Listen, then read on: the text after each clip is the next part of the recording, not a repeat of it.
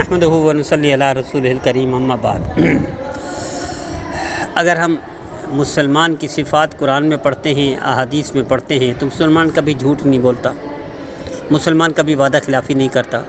मुसलमान कभी गालम गलोच नहीं करता। मुसलमान कभी गीबत नहीं करता। मुसलमान कभी बेवजू नहीं रहता। मुसलमान बेनमाजी नहीं हो सकता। मुसलमान अल्लाह के रसूल का नाफरमान नहीं हो सकता।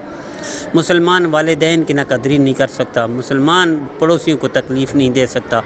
मुसलमान मिलावट दो नंबरी फ्रॉड, चीटिंग नहीं कर सकता। मुसलमान तजारत में कभी भी धो, धोखा नहीं दे सकता। मुसलमान मार्केट में नाफरमानी अल्लाह की, अल्लाह के रसूल की नहीं कर सकता।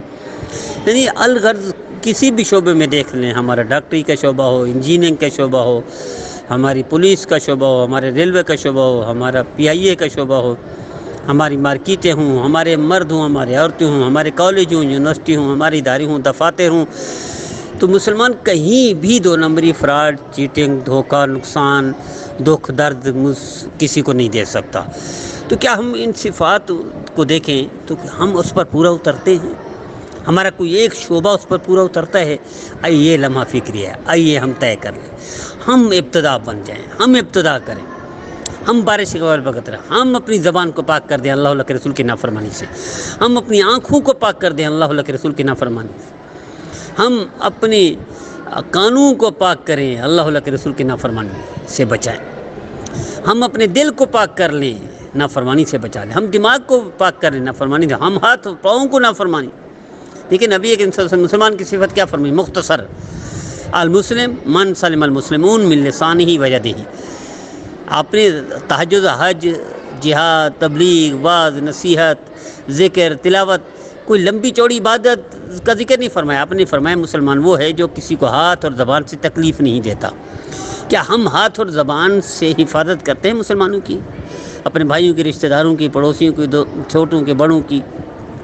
क्या हमारे हाथ और पाँव से या हमारे हाथ और ज़बान से सलामत रहते हैं दूसरे मुसलमान? हमारी ज़बान से सलामत हैं मुसलमान? नहीं है मेरे अजीज़ो। आइए तय कर ली। हज़रत ईसर साहब ने फरमाया था, तुम कैसे लोग हो अपने मुर्द, सोते हुए भाई का गोश्त काट कर खाते हो? हमारे ने कहा, हज़रत कैसे मुमकिन है? नहीं करते, फरमाया, तुम जो पीठ पीछे बुराई करते हो दूसरे मुसलमान की, भाई की, रिश्तेदार की, दोस्त की, गैदरिंग कंपनी तो ऐसे ही जैसे गोश्त काट कर खाना। इसलिए अल्लाह ने फरमाया, ला यकतब बाज़ुकुम बाज़ा याकुलहमाखी यही तो है ना। तो मुसलमान ये सारे काम नहीं करता। आइए तय कर लीजिए, हम ना करें, हम इब्तदा करें, हम इसलाह करें, हम तरबियत करें, हम इब्तदा करें, हम अमाल वाले बन जाएँ, हम बदमनी छोड़ दें, नाफरमानी छोड़ दें। मेरे उस्ताद मोहतरम मुफ्ती आज़म पाकिस्तान, मुफ्ती रफ़ी उस्मानी साहब, रहमतुल्लाह अल्लाह को प्यारे हो गया बीस साल। अमेरिका गया वापस आकर दालूम कराची में उस वक्त हम पढ़ते थे, बयान फरमाए फरमाया, मेरे पास न्यूयॉर्क में एक बंदा लाया गया कि कलमा पढ़ने के लिए तैयार है, इस्लाम लाने के लिए, कबूल करने के लिए तैयार है। मोहम्मद अरबी सल्लल्लाहु अलैहि वसल्लम की ग़ुलामी में आने के लिए तैयार है, लेकिन उसकी एक शर्त मुसलमान नहीं कहलाऊँगा। मेरे उस्ताद मोहतरम मुफ्ती आज़म, पाकिस्तान मुफ्ती रफ़ी उस्मानी साहब फरमाया मेरे पाँव के नीचे से ज़मीन निकल गई, मैं चौंक गया मेरा माथा ठंका क्यों? मुसलमान कहलाने के लिए क्यों तैयार नहीं है? इस्लाम कबूल करने के लिए तैयार है, ईमान वाला बनने के लिए तैयार है, ग़ुलामी में तैयार है। मुसलमान फरमा तो उसने अजीब बात कही अमरीकी ने। पूरे अमेरिका में कोई दो नंबरी फ्रॉड चीटिंग नहीं करता, सिर्फ़ मुसलमान करते हैं, इसलिए मैं मुसलमान नहीं कहलाना चाहता, इस्लाम कबूल करता हूँ। कितनी बड़ी बात है। खालिद महमूद साहब, अल्लाह इनकी ज़िंदगी में बरकत अता फरमा दाऊद कहता हूँ दालूम कराची में अहम शोबे में निगरान थे। अभी माशा दीन की खिदमत सर अंजाम दे रहे हैं दुनिया भर में। ये ईसाई थे, मुसलमान हुए, इस्लाम वाले हुए। अब इस्लाम की खिदमत कर रहे हैं माशा उन्होंने ख़ुद फरमाया मुझे कि एक ईसाई को मैंने पादरी को ख़त लिखा तो नसीहत की। उसने वापस जवाब दिया कि जो नसीहत तुम मुझे कर रहे हो, दुनिया भर में कोई एक मुसलमान दिखा दो, पूरी दुनिया में।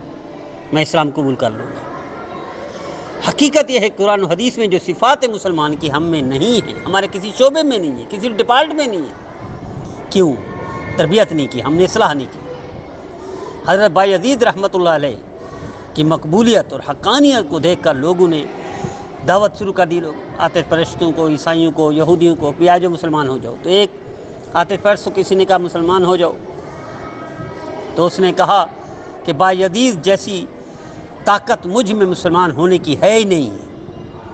और तुम्हारी मुसलमानी की मुझे नौीयत नहीं मुझे तरगीब नहीं, रगबत नहीं। यानी तुम जैसे मुसलमान हो तो मुझे इसकी ज़रूरत नहीं। और अज़ीज़ जैसे मैं बन नहीं सकता, लिहाजा मैं आतिश परस्ती काफ़ी हूँ। इंजमाम पाकिस्तान का कैप्टन था।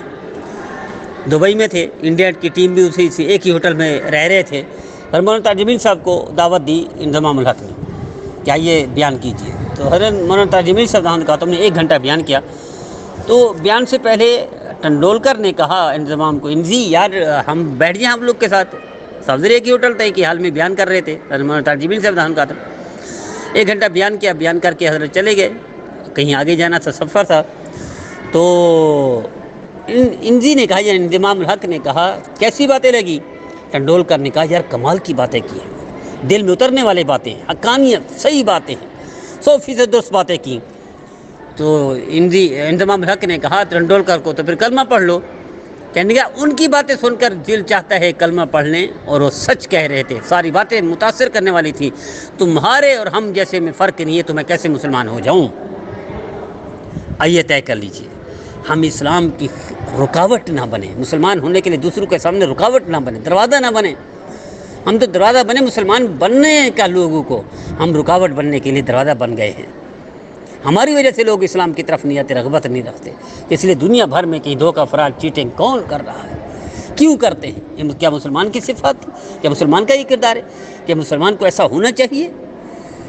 मेरा दीदो मुसलमान की तो ताकत ये थी कि हज़रत सुबहान अल्लाह, क्या कहने हमारे अकाबिर, कि ईसाइयों के मकानों की कीमत बढ़ जाती थी कि अब्दुल्ला बिन मुबारक रहमतुल्लाह के पड़ोसी था, मकान बेच रहा था। मसलन फ़र्ज़ करें फ़र्ज़ करें, एक हज़ार का था तो उसने दस हज़ार कीमत लगाई। तो किसी ने कहा, ये दस हज़ार का कहा है? तो एक हज़ार का है। तो ने कहा एक हज़ार का है, लेकिन दस हज़ार अब्दुल्ला बिन मुबारक का पड़ोस की वजह से है। हमारी तो कीमतें बढ़ जाती थी। हमारी वजह से लोगों की प्लाटों की, ज़मीनों की, घरों की कीमतें बढ़ जाती थी कि मुसलमान साथ रहता है और आज मुसलमान कहाँ गिर गया? हज़रत इमाम मुस्लिम रहमत के सामने पड़ोसी था, यहूदी था। दस साल कचरा डालता रहा दस साल चुप करके उठा रहे थे। एक दफ़ा ताना नहीं दिया, गाली नहीं दी, गुस्सा नहीं किया। दस साल के बाद आकर कदमों में गिर गया कि तुम्हारे ये अखलाक हैं, तुम्हारा ये किरदार है तो मुझे कलमा पढ़ा दो, तुम्हारे नबी का फिर किरदार कैसा होगा? हमारे, हम तो ऐसे ही थे। आज क्या हो गया क्यों इतना तनदिल होगी? क्यों ज़िल्लत होगी? क्यों परेशानियाँ हैं? क्यों मुसलत होगी दुख दर्द हमारे ऊपर? आइए तय कर लीजिए। मेरे भाई, मेरे बहन इसमें किरदार अदा करें। आगे बढ़ें। इस असलाह के काफिले में शामिल हो जाएँ। तरबियत में शामिल हो जाएँ। इसलिए हमारी रात दिन की यही कोशिश है। तरबियत हो जाए, इसलाह हो जाए, खैर पर आ जाए, भलाई पर आ जाए, साहब अमाल बन जाए, साहब किरदार बन जाए। बुराइयाँ बदमली गुनाह, नाफरमानी छोड़ दें। मुझे उम्मीद है मेरे भाई, मेरे बहन हमारे हर पैगाम को खुद भी सुनाएँगे, दूसरों को भी सुनाएँगे। खुद भी अमल करेंगे, दूसरों को भी कराएँगे। इसलिए फेसबुक पेज भी है यूट्यूब चैनल भी है। पीर मुफ्ती अख्तर हुसैन, भरपूर शेयर कीजिए। इस असलाह में इस तरबियत में शामिल हो जाइए। अल्लाह दुनिया और आखरत की नमतों से नवाजेंगे इन